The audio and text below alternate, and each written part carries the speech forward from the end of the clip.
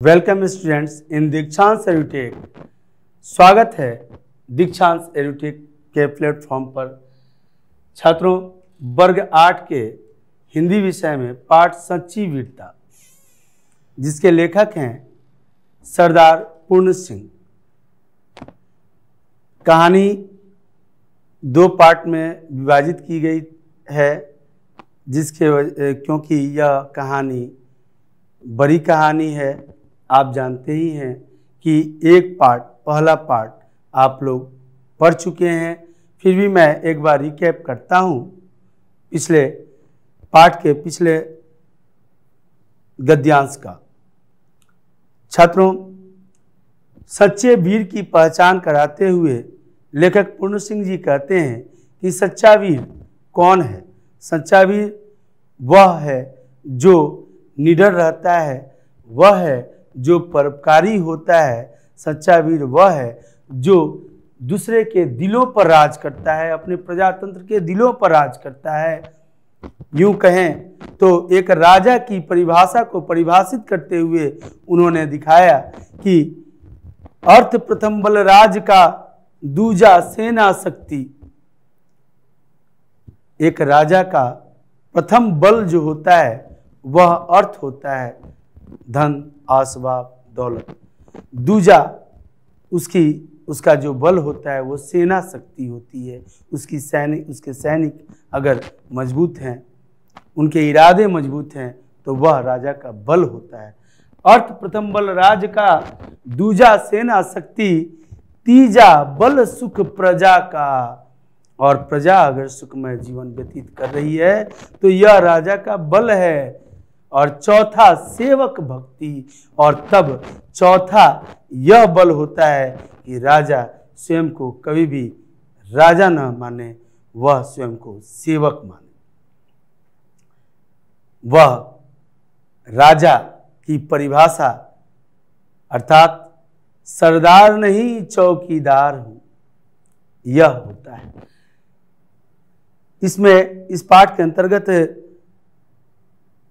लेखक ने बताया है कि एक गुलाम कैदी था जो बादशाह के कहने पर कि तुम्हें मैं जान से मार सकता हूँ, इतनी मेरी क्षमता है, तुम क्या कर सकते हो? उसने कहा कि मैं फिर भी तुम्हारी आधीनता स्वीकार नहीं करूँगा। और यह बात कहते ही दुनिया के तमाम बादशाहों के हद को उसने दिखला दिया। कि आप कर ही क्या सकते हो, आप मेरा जान ले सकते हो।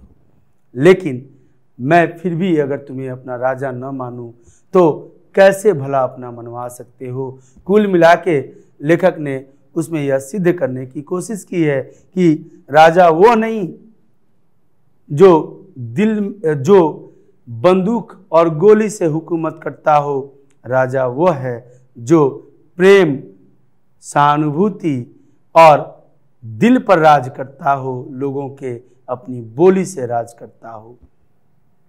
आइए छात्रों, आगे इस पाठ में कुछ मुख्य बिंदुएँ हैं जिन्हें उदाहरणार्थ हम देखते चलते हैं।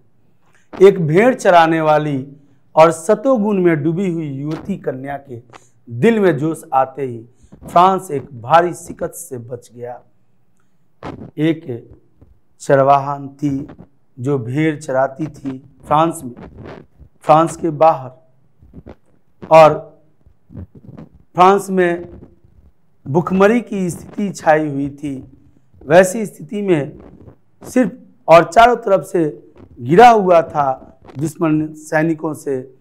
उस समय उसके जज्बात जो थे, वह सतोगुण में डूबी हुई, अर्थात सत्य के गुण की धारक थी। वह युवती कन्या के दिल में जब जोश आया तो फ्रांस एक भारी शिकस्त से बच गया। फ्रांस अपने अस्तित्व को बचाने में सफल हो गया।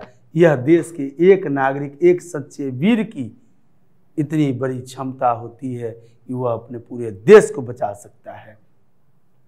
अपने देश में, इस भारत में तो ऐसे कई नाम हैं, पूरी लिस्ट है, सूची है कहते कहते शाम हो जाएगी। ऐसे वीरों की, कई ऐसे जो जिनके वीर गाथाएँ कहते जबान नहीं थकता, सुबह से शाम हो जाए, वह बंद नहीं होता, ऐसे कई वीर हुए हैं। और उस देश के हम वासी हैं, जिस देश में वीरता परम ध्येय माना जाता है, वह भारत ही तो है।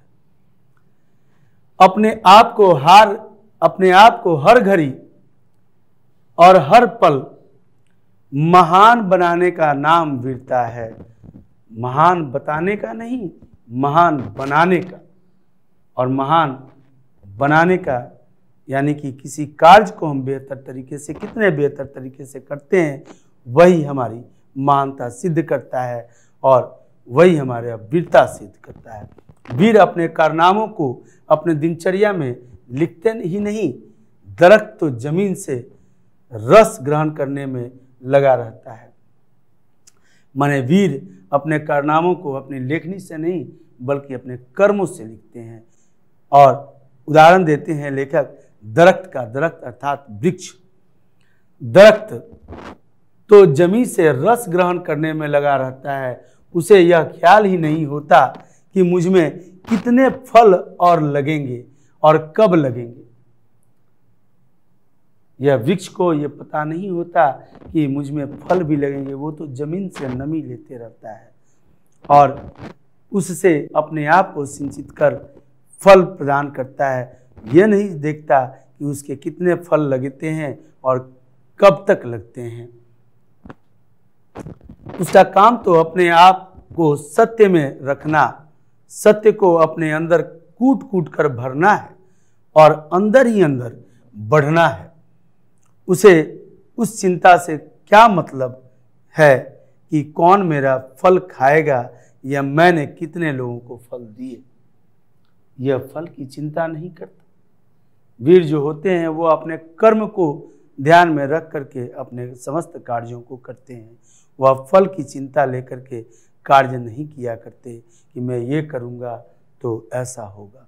मैं मानिए, छात्रों यूँ तो हमारे देश में कई कवियों, कहानीकारों द्वारा आलोचनाएँ होती रहती हैं, आलोचक भी हैं हमारे देश में और अधिकांशतः या तो किसी नेता का, किसी अभिनेता की परिचर्चा के अंतर्गत उनकी आलोचना करते रहते हैं। लेकिन हमारे जो नेता हैं, उनकी आलोचना के अंतर्गत यह देखा जाता है कि चुनाव जीतने के लिए वह हर तरह के हथगंडे अपनाते हैं, लेकिन उसमें सिर्फ़ उनकी स्वार्थता ही निहित होती है, परमार्थता कहीं दर्शित नहीं होती। अतः वह नेता कहलाने योग्य नहीं, वह तो वीर भी नहीं, क्योंकि वह डरवा करके, डरा करके, धमका करके अगर अपना उल्लू सीधा करते हैं, अपना काम निकालते हैं तो वह निसंदेह वीर नहीं, अवीर या स्वार्थी कहे जाते हैं। आइए अगले पंक्ति को देखें, वीरता का विकास नाना प्रकार से होता है। वीरता का विकास एक प्रकार से नहीं, कई प्रकार से होता है। कभी तो उसका विकास लड़ने मरने में, खून बहाने में, तलवार टाप के सामने जान गंवाने में होता है तो कभी साहित्य और संगीत की वीरता खिलती है। कभी जीवन के गुड़ तत्व और सत्य की तलाश में बुद्ध जैसे देवता वीर हो जाते हैं। छात्रों साहित्य की वीरता क्या झलकाती है? मैथिली शरण गुप्त जी की एक कविता है कि विचार लो कि मर्त हो न मृत्यु से डरो कभी। यह विचार लो कि मरना तो है ही तो मृत्यु से क्या डरना? विचार लो कि मर्त हो न मृत्यु से डरो कभी। मरो परंतु यो मरो कि याद जो करे सभी।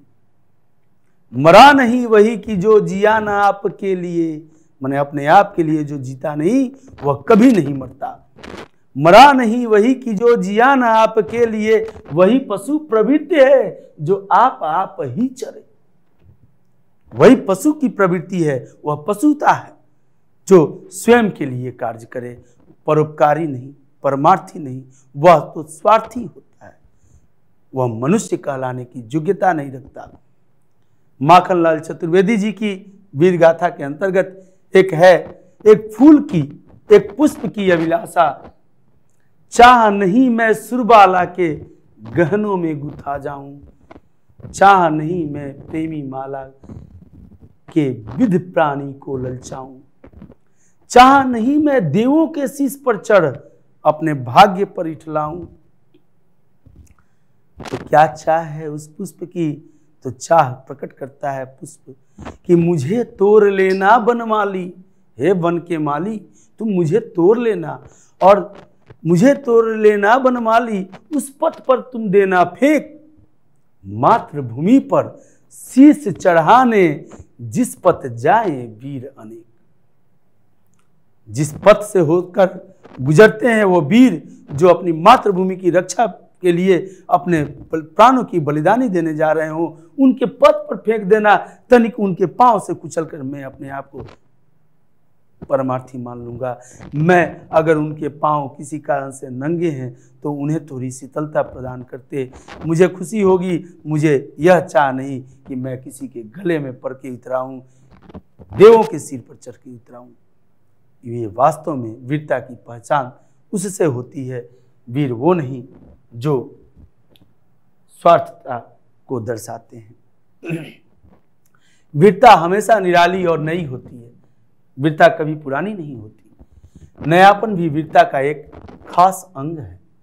वीरता की कभी नकल नहीं हो सकती, जैसे मन की प्रसन्नता कभी उधार नहीं ले सकता।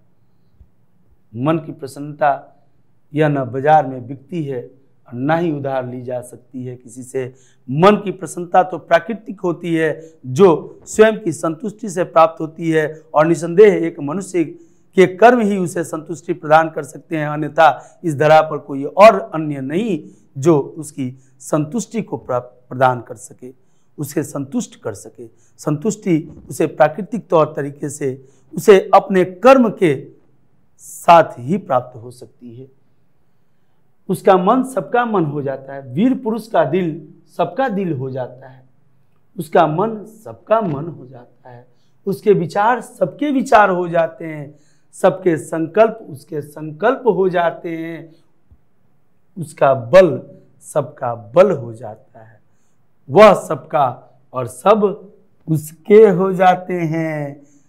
वीर ऐसे होते हैं जो चलते हैं। तो अकेले दिखते हैं, लेकिन पीछे न मुड़ने के बावजूद भी सैलाब उमर पड़ता है। वीर अपने अगाध प्रेम के साथ, अपने अगाध वीरता के साथ, वह दंभ को नहीं पालते, वह तो दंभ का नाश करने वाले होते हैं। वीरों के बनाने के कारखाने नहीं होते, ये तो स्वयं से विकसित होते हैं। वे तो देवदार के दरख्तों, देवदार के पेड़ों की तरह। जीवन के अरण्य अरण्य का अर्थ होता है वन। जीवन के अरण्य में, वन में खुद ब खुद पैदा होते हैं। और बिना किसी के पानी दिए, बिना किसी के दूध पिलाए, बिना किसी के हाथ लगाए तैयार होते हैं। दुनिया के मैदान में अचानक ही सामने आकर वे खड़े हो जाते हैं। उनका सारा जीवन अंदर ही अंदर होते हैं। बाहर तो जवाहरात की खानों की ऊपरी जमी की तरह कुछ भी दृष्टि में नहीं आता, वीर की ज़िंदगी मुश्किल से कभी कभी बाहर नज़र आती है। वीर कभी अपने आप को दर्शाता नहीं कि मैं वीर हूँ। कभी बखान नहीं करता कि मैंने ये किया, वो किया वो किया, वैसे किया। कभी किसी को दिखाने की कोशिश भी नहीं करता इसीलिए तो वीर को कोई जन्म नहीं देता, वीर स्वयं से जन्म लेता है, देवदार के वृक्ष की तरह। आइए छात्रों, वह लाल गुदरियों के भीतर छिपा रहता है। गुदरिया, अर्थात कपड़े फटे पुराने, जो कपड़े होते हैं, उनको गुदरी कहा जाता है। वह लाल गुदरियों के भीतर छिपा रहता है। कंदराओं में छोटी छोटी झोपड़ियों में बड़े बड़े वीर महात्मा छिपे रहते हैं। वो लोग दुनिया को दिखाते नहीं, न दुनिया के सामने आना चाहते हैं। पुस्तकों और अखबारों को पढ़ने से या विद्वानों, व्याख्यानों को सुनते, सुनने से तो बस ड्राइंग हॉल के वीर पैदा होते हैं। कह रहे हैं लेखक कि पुस्तक की में वीरता की गाथा पढ़ने वाले, अखबारों से वीरता की गाथा गाने वाले, ये सिर्फ़ ड्राइंग हॉल के वीर होते हैं। वीर वास्तव में तो वो होते हैं जो आगे बढ़ करके काम करते हैं। उनकी वीरता अनजान लोगों से अपनी स्तुति सुनने तक खत्म हो जाती है। असली वीर दुनिया की बनावट और लिखावट के मखौलों के लिए नहीं जीते। तो वो किसके लिए जीते हैं? वह बनावट के लिए या किसी के लिखने के लिए नहीं जीते? वह तो कर्म में विश्वास रखते हैं और अपना कर्तव्य निभाने में विश्वास रखते हैं। बेचारी मरियम का लाडला। मरियम कौन? यीशु की माँ। मरियम का लाडला लाडला पुत्र को कहा जाता है। खूबसूरत जवान। अपने मद में मतवाला और अपने आप को सहनशाह, हकीकी कहने वाला ईशा। मसीह, क्या उस समय कमज़ोर मालूम होता है? जब भरी। सलीप उठाकर कभी गिरता, कभी जख्मी होता है और कभी बेहोश हो जाता है। कोई पत्थर मारता है, कोई ढेला मारता है और कोई थूकता है। किसके ऊपर? मरियम के लाडले पर। कभी जख्मी होता है और कभी बेहोश हो जाता है। मगर उस मर्द का दिल नहीं हिलता, कुछ क्षुद्र हृदय और कायर होता तो कोई क्षुद्र हृदय या कायर होता तो अपनी बादशाहत के बल की गुत्थियाँ खोल देता। और संभव है कि एक निगाह से उस सल्तनत के तख्ते को उलट देता और मुसीबत को टाल देता। परंतु जिसको हम मुसीबत जानते हैं, उसी को वह मखौल समझता है। वह मुसीबत नहीं समझता, उसे मज़ाक समझता है। और उनके लिए यह बातें कही गई थी। सीली ऊपर सेज पिया की। सीली ऊपर सेज पिया की। सोने दो मीठा मीठा नींद है आती। अर्थात सिली ऊपर सेज पिया की जो सिली उसे उन्हें बाँध दी गई थी। क्रॉस मार्क जिस पर ईसा को बाँध दिया गया था। बड़े बड़े कांट कांटी से छिद्र कर दिया गया था उनके हाथ और पाँव में।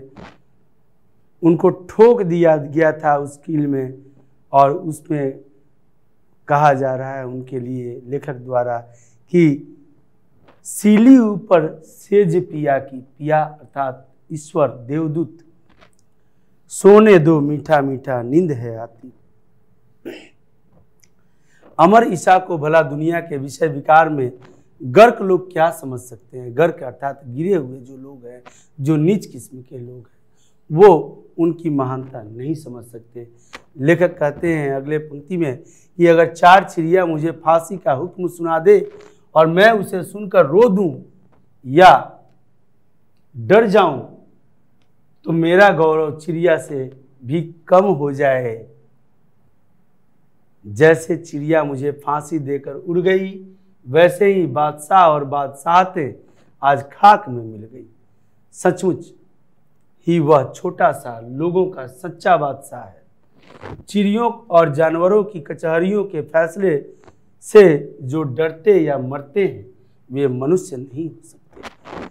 चिड़ियों या जानवरों का अर्थ ये कि जो स्वार्थी व्यक्तियों के कचहरियों, उनके समझौतों से जो डरते हैं, वह मनुष्य नहीं होते। मनुष्य तो वह होते हैं जो वीर होते हैं और वीर वह होते हैं जो अपनी बादशाहत खुद जीते हैं। राजा जी ने जहर के प्याले से मीराबाई को डराना चाहा। मीरा, मीराबाई, जिनके पति का देहांत हो गया, राजवाड़े परिवार से आती थी। लेकिन उनके ही परिवार वाले कुछ लोग उन्हें मृत्यु देना चाहते थे, उन्हें मार देना चाहते थे। उन्होंने जहर का प्याला उन्हें दिया, लेकिन उसे उन्होंने ईश्वर का प्रसाद मानकर पी लिया और उन्हें कुछ नहीं हुआ। मगर वह वारी सच्चाई, मीरा ने इस जहर को भी अमृत मानकर पी लिया। वह शेर और हाथी के सामने गई, उसे शेर और हाथी के पास भेज दिया गया था, मगर वह रे प्रेम मस्त हाथी और शेर ने देवी के चरणों की धूल को अपने मस्तक पर लगा लिया। नहीं मार पाए आत्मविश्वास था उस वीरांगना में। और अपना रास्ता लिया। इस रास्ते वीर पुरुष आगे नहीं, पीछे जाते हैं। अंदर ध्यान करते हैं। मरते नहीं मारते नहीं, मरते हैं। वीर क्या टीन के बर्तन की तरह झट गरम और झट ठंडा हो जाते हैं? नहीं। ये तो धीर और गंभीर होते हैं। यह जल्दी गर्म नहीं हो सकते, चाहे कुछ भी हो जाए, इनकी गर्मी नहीं दिखती। सदियों नीचे आग जलती रहे तो भी शायद ही गर्म हो। और हज़ारों वर्ष बर्फ़ जमती रहे उनके ऊपर। तो भी क्या मजाल जो उनकी, उसकी बानी तक ठंडी हो जाए। उसे खुद गर्म और सर्द होने से क्या मतलब? मतलब उसको दिन दुनिया और संसारिक भोग विलास से उसे मतलब नहीं रहता, उसे तो अपने कर्तव्य से मतलब रहता है, अर्थात वीर जो कर्तव्य निष्ठ होते हैं, वो होते हैं। जब कभी वीरों का हाल सुनते हैं, तब हमारे अंदर भी वीरता की लहर उठती है और वीरता का रंग चढ़ जाता है। परंतु उस चिरस्थाई वह चिरस्थाई नहीं होता। इसका कारण सिर्फ़ यही है कि हम में भीतरी दृढ़ता का मलबा नहीं होता। हम सिर्फ़ ख्याली महल उसके दिखलाने के लिए बनाना चाहते हैं। अर्थात, जब भी हम वीरों की गाथाएँ सुनते हैं तो हमारे अंदर एक वीरता जाग उठती है, पनप उठती है और हम स्वयं को भी उसी मार्गदर्शन पर लेकर चलना चाहते हैं। हम भी वो से वीर लगते हैं। कई छात्र फ़िल्में देख करके अपने आप को उस हीरो से कम नहीं समझते हैं। वैस वो क्षणिक होता है वह पल भर के लिए होता है फिर तनिक समय के बाद वह नष्ट वीर टीन के बर्तन का स्वभाव छोड़कर टीन के बर्तन का स्वभाव छोड़कर अपने जीवन के केंद्र में निवास करो। लेखक क्या कहते हैं? ध्यान देने की बात है कि टीन के बर्तन का स्वभाव छोड़कर, टीन का बर्तन अर्थात जो तनिक सी लौ मिलने से आग की गर्म हो जाना और पुनः ठंडक प्राप्त होने पर तुरंत ठंडा हो जाना, इससे निवृत्त होकर के इससे बाहर निकलने की बात कह रहे हैं। कि टीन के बर्तन का स्वभाव छोड़कर अपने जीवन के केंद्र में निवास करो। जीवन का केंद्र अर्थात अपने हृदय में। निवास करो और सच्चाई की चट्टान पर दृढ़ता से खड़े हो जाओ।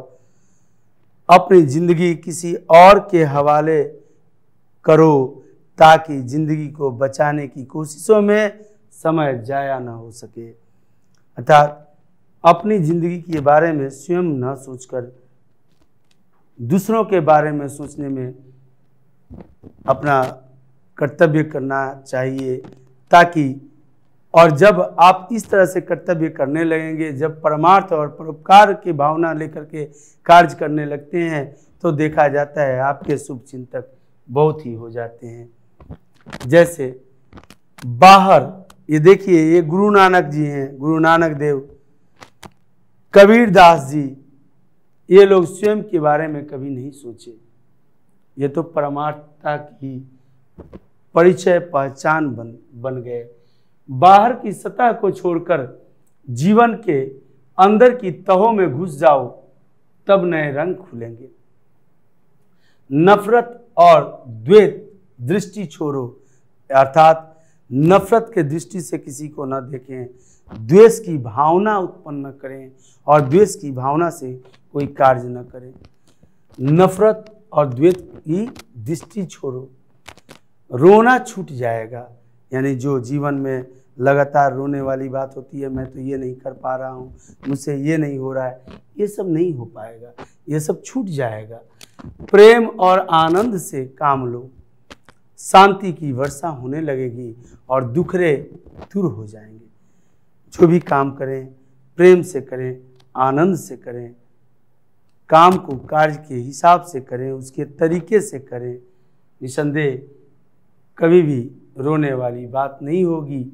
सदैव ही आप अपने आप में हँसते रहेंगे। एक प्राकृतिक मुस्कुराहट आपका इंतज़ार कर रही है। जीवन के तत्व का अनुभव करके चुप हो जाओ। धीर और गंभीर हो जाओगे। अर्थात धीर और गंभीर बनने की क्या तरीके हैं तो जीवन के तत्व का अनुभव करके शांत हो जाना चाहिए और धीर गंभीर हो जाना चाहिए। धीर गंभीर तभी हम बन सकते हैं जब जीवन के मूल तत्वों के बारे में हम जान लें। वीरों की, फकीरों की पीरों की यह कूक है, कूक अर्थात उनका ही ये कहा गया कथन है, हटो पीछे अब अपने अंदर जाओ, यानी दुनिया को बाहर के दृष्टिकोण से नहीं, अपने स्वयं को पहचानने की दृष्टिकोण अपनाने की बात कही जा रही है। अपने आप को देखो, दुनिया और की और हो जाएगी, अपनी आत्मिक उन्नति करो। कबीरदास जी की एक वाणी है, एक साखी है। क्या है? कि जब मैं था तब हरि नहीं। जब हरि मिले तो मैं नाही। सब अधियारा मिट गया, जब दीपक देखिया माही। अर्थात मैं, अर्थात अहम, अहंकार जो जब तक हमारे अंदर रहेगा, तब तक कल्याण निसंदेह हो नहीं सकता। अहंकार से दूर हटो। अहंकार की प्रवृत्ति को छोड़ना, अहंकार छूट जाएगा। अहम की भावना कि मैं, मुझे पहचानने की भावना हो। मैं अपने अंदर झांकूं, अपने अंदर आप झांकेंगे तो अपने आप को पहचान लेंगे। और निसंदेह, मन ही वह मंदिर है जहाँ ईश्वर का वास होता है। ईश्वर का वास हमारे विश्वास में होता है। और ईश्वर का वास अगर विश्वास में होता है तो निसंदेह अपने अंदर झांकने पर ईश्वर दर्शन होगा। और उस ईश्वर दर्शन के बाद आप देखेंगे तो दुनिया और की और हो जाएगी। अपनी आत्मिक उन्नति करना चाहिए और तब हमारा आत्मिक उन्नति होता है। आशा करते हैं छात्रों, आपको वीरता की यह पहचान, वीर बनने का यह तरीका निसंदेह बहुत ही प्रभावित किया होगा और आप में देखिएगा, एक बार जब आप इसे देखे हैं, सुने हैं, समझे हैं तो आपके जीवन पर इसका प्रभाव होगा और उससे प्रभावित होकर आपका जीवन निसंदेह बदलेगा। इसे अपने जीवन में उतारना चाहिए। इसे अपने जीवन के उन सभी मूल्यों पर आधारभूत इकाई के तरह रखना चाहिए, जिससे हमारा जीवन सफल और सुफल हो जाए। जब सफल होगा तो निसंदेह सुफल भी होगा। हम संसारिक भोग विलासों को छोड़ करके आध्यात्मिक अथवा अध्यात्म कहता क्या है? अध्यात्म यही कहता है कि परोपकार करो, चाहे आप जिस धर्म के अंतर्गत देखें, यही बातें आती हैं कि दूसरों का सहयोग, सेवा, सत्कार की भावना लिए हुए दुनिया में परोपकार करो।